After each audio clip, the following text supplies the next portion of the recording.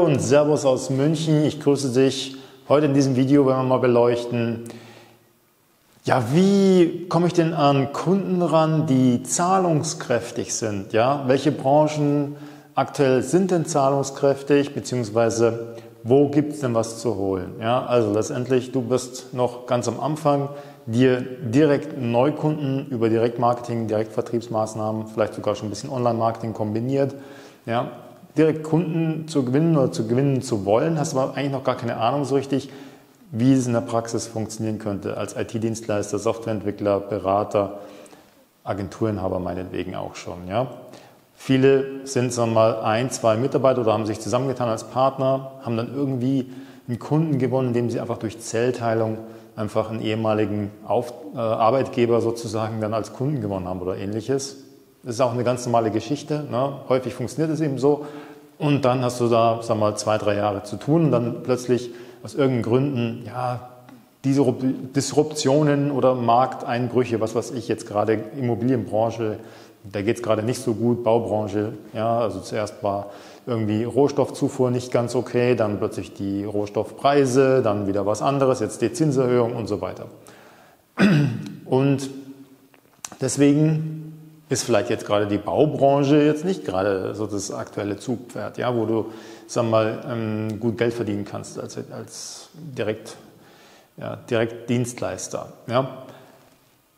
Es gibt vielleicht andere Bereiche. Naja, wer profitiert denn davon, dass die Zinsen wieder massiv gestiegen sind und zwar noch nie so schnell seit, ich glaube, 80 Jahren, also in dem kurzen Zeitraum, so schnelle Zinserhöhungen gab es seit, seit den 70er Jahren, glaube ich, nicht mehr.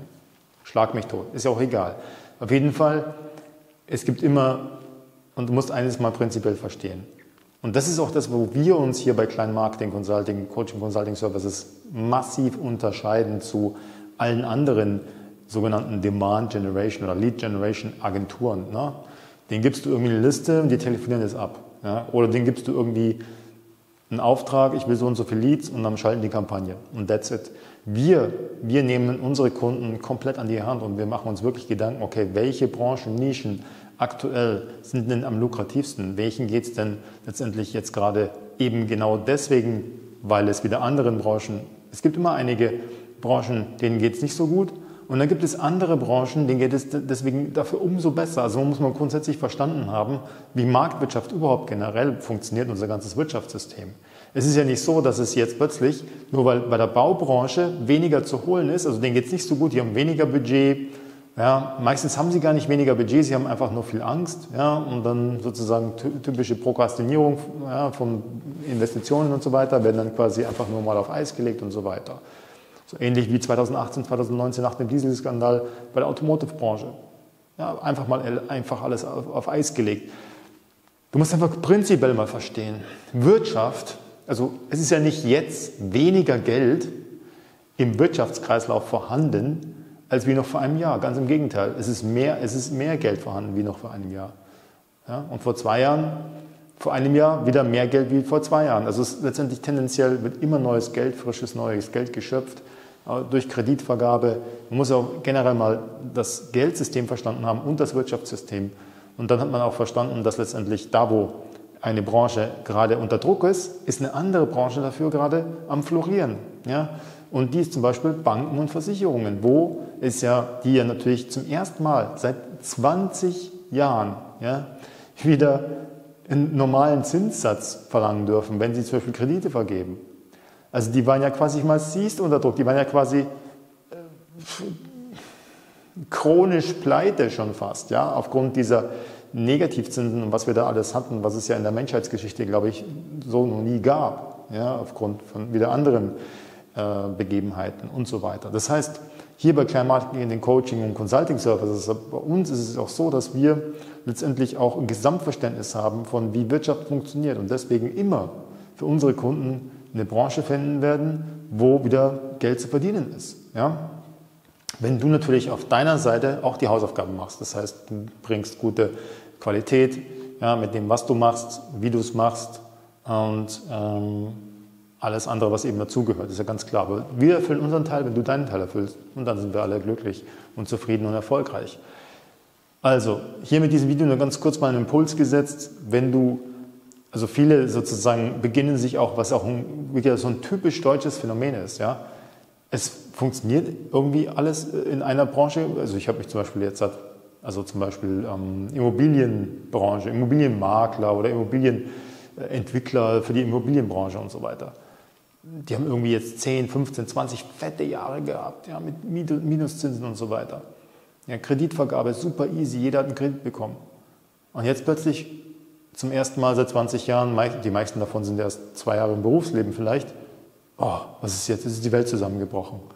Ja? Und begeben sich sofort in die Opferrolle. Und das ist eben bei uns nicht so. Ja? Also wir schauen sofort, okay, hier ist das passiert, wo werden jetzt die Ressourcen allokiert? Ja? Die Kapitalmärkte, wie reagieren die, wohin geht's? Und das sind eben Versicherungen und Banken zum Beispiel, die jetzt quasi zum ersten Mal seit 20 wieder, Jahren wieder Geld verdienen eigentlich dürfen und das auch sehr intelligent, das darfst du mir glauben, ja, ähm, Banken und Versicherungen, denen ihr einziges Geschäft ist ja eben die Allokierung von Geldressourcen und Investment, ja, die machen ja ganz nichts anderes. Und dass die sagen, okay, jetzt haben wir zum ersten Mal wieder einen positiven Cashflow seit irgendwie 20 Jahren und jetzt nutzen wir das, um was zu tun? Endlich unsere Prozesse zu digitalisieren.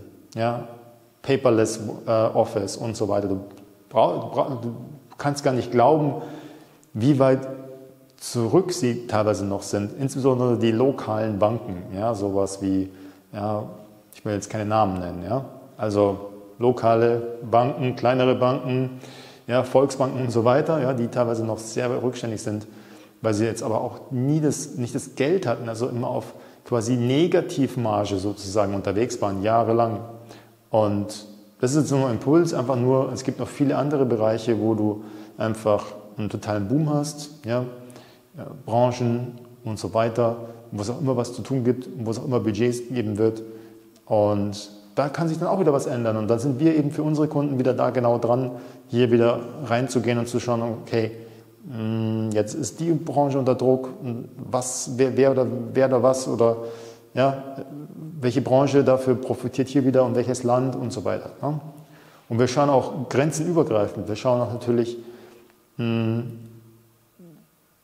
sind auch Englisch.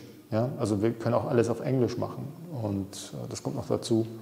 Und ja, ich hoffe, ich konnte irgendwie weiterhelfen mit diesem Video. Einfach nur mal Impuls. Drei Dinge nochmal zusammengefasst.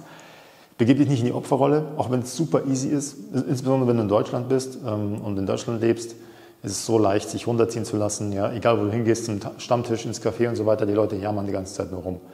Ich kann dir eins sagen, es tut gut, wenn du mindestens drei, vier Mal im Jahr, wenn du es dir leisten kannst, mal verreist in andere Länder ja, und dann mal vergleichst, wie schlecht es denen tatsächlich geht, aber wie wenig die jammern im Vergleich zu Deutschland. Ja. Okay, das ist das Zweite. Dann das, das Dritte, ähm, immer da, wo es einen Verlierer gibt in der Wirtschaft, gibt es einen Gewinner. Ja? Und dann das letzte, das fünfte, der fünfte Punkt ist, dass letztendlich Geld wird nicht weniger, Geld wird immer mehr. Das heißt, es ist, nie, es ist kein Mangel an Geld da. Es geht nur darum zu wissen, okay, wie komme ich daran? Ja? Access, Market Access, ich muss Märkte verstehen, ich muss Märkte äh, analysieren können, ich muss sie verstehen können, ich muss dann verstehen können, okay, wie komme ich an die äh, Firmen in diesen Märkten ran. Das heißt, dann geht es um die Entscheideranalyse, ja, dann geht es um die Entscheideransprache, dann geht es um Kaltakquise und so weiter. Das heißt, häufig ist es sogar so, dass bis wir überhaupt mit der Akquise anfangen, erstmal so einen gewissen äh, Marktanalyseprozess ähm, erstmal davor schalten müssen. Ja? Dann die Akquise, dann ähm, Kundengewinnung und nach der Kundengewinnung dann das Marketing weiter ausbauen und dann sozusagen einen Cashflow erzeugen und dann mit dem Return Invest sofort wieder reinvestieren und das Business weiter aufbauen. Okay, von A bis Z und ich hoffe, du konntest hier wieder was mitnehmen.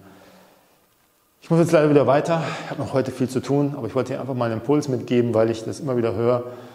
Ähm, Leute, die sich auf irgendwas fokussiert haben und letztendlich den Wald vor lauter Bäumen nicht kennen, weil sie einfach so einen Tunnelblick nur haben ähm, auf irgendeine Branche, wo es jetzt einfach mal ein paar Jahre lang lief.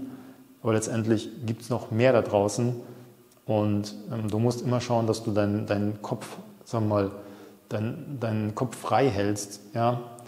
Und auch mal nach links und nach rechts schauen können. Und viele Leute sind einfach zu involviert in ihren, in ihren, in ihren Routinen. Ja? Also, ich wünsche dir was. Bis dahin, Happy Hunting, dein Thomas Klein.